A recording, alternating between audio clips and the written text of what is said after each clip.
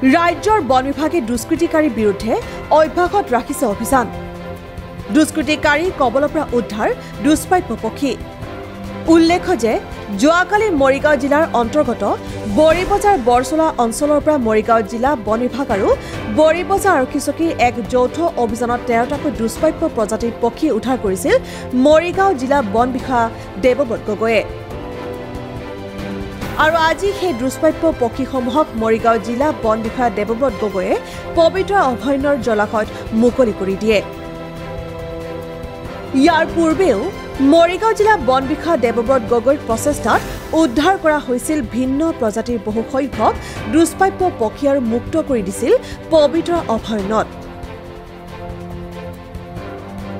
যোৱা কেইটা মাহত বহুসংখ্যক ভিন্ন প্ৰজাতিৰ দুষ্প্ৰাপ্য পক্ষী উদ্ধাৰ কৰে বন বিষয়া দেৱব্ৰত গগৈয়ে।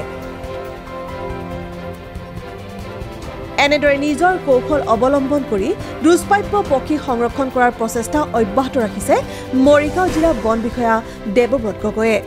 নমস্কাৰ যোৱাকালি আমাৰ বন বিভাগ আৰু আৰক্ষী বিভাগ বৰি বজাৰৰ অন্তৰ্গত আমাৰ থানা এলেকাত এটা জলাশয়ৰ পৰা এই তেৰটা বিভিন্ন প্ৰজাতিৰ পক্ষী উদ্ধাৰ কৰা হয়। আৰু বিশেষকৈ ইয়াত আজি কাম চৰাই আছিল আৰু খৰালি হাঁহ আছে। গতিকে আমি যোৱাবাৰো কেইমাহমানৰ আগতে সেই একে জেগাৰ পৰাই সেই ঠাইৰ পৰাই আমি আমি এই পশু হেৰি এই পক্ষী চৰাইবিধ উদ্ধাৰ কৰিবলৈ সক্ষম হৈছোঁ।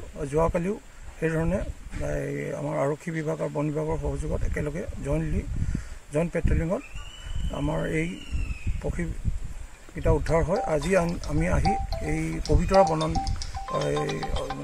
অভয়াৰণ্যত আহি এই বন্যপ্ৰাণী অভয়াৰণ্যত আহি এইকেইটা এই চৰাইকেইটা মুকলি কৰি দিওঁ। গতিকে আমি আশা কৰিম যে এই জৈৱ বৈচিত্ৰ্যকুলৰ যিখিনি আমাৰ এই পবিতৰা সুন্দৰকৈ তেওঁলোকৰ বাসস্থান আছে গতিকে ইয়াত সুন্দৰকৈ তেওঁলোকে থাকিব পাৰিব আৰু আমি এইখিনিতে আমাৰ ৰাইজকো সজাগতা কৰিবৰ কাৰণে বিভিন্ন সময়ত আমি আঁচনি লৈছোঁ। আৰু আমি অনুৰোধ কৰিম যে যিসকলে দুষ্কৃতিকাৰীসকলে এই চৰাইবোৰ এনেকৈ ধৰি পেলাই বজাৰত বিক্ৰীৰ কাৰণে যিটো প্ৰচেষ্টা কৰিছে সেইখিনি বন্ধ কৰক। আৰু আমাৰ বন বিভাগৰ এতিয়া চৰকাৰৰ বিভিন্ন সময়ত আমাৰ নিৰ্দেশ আছে আৰু আমি সকলো সময়তে আমি আমাৰ মৰিগাঁও বন বিভাগৰ ফালৰ পৰা সকলো সময়তে আমি তদাৰক কৰি আছোঁ। আৰু আমি য'তেই যেনেকৈ আমি খবৰ পাওঁ আমাৰ পুলিচ প্ৰশাসনে আমাক সহায় কৰিছে জিলা প্ৰশাসনে সহায় কৰি আছে।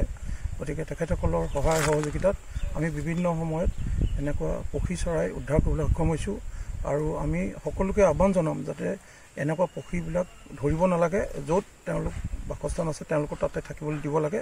গতিকে আজি আমি এই পবিতৰাত আহি আমাৰ বনাঞ্চলিক কাৰ্যালয়ত আমাৰ বন্যপ্ৰাণী অভয়াৰণ্যত আহি এই ফুলক আমি মেলি দিছোঁ।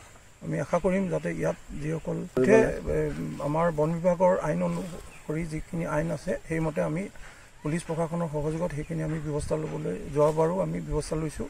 আমি তেওঁলোকৰ যিসকল দুষ্কৃতিকাৰী নিশ্চয় আমি সেইখিনিক ধৰিবলৈ অব্যাহত ৰাখিছোঁ।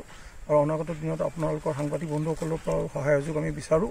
গতিকে আমি আশা কৰিম যাতে আমি এই পক্ষীকুলক আমি কেনেকৈ বচাই ৰাখিব পাৰোঁ সেইটোহে আমাৰ এতিয়া মূল কথা হৈছে। গতিকে আমি এই আজি পবিতৰত আহি সকলোৱে এই এই চৰাইকেইটা সকলোৰ সহযোগত আপোনালোকৰ বন্য কৰ্ম বন কৰ্মচাৰীসকল আছে তেখেতসকলৰ সহযোগত আমি ইয়াত মুকলি কৰি দিছোঁ। আশা কৰিছোঁ এইখিনি সুন্দৰ বাসস্থান পাইছে। ধন্যবাদ। মায়ঙৰ পৰা ৰাজীবুল হকৰ ৰিপৰ্ট নিউজ ডি আছাম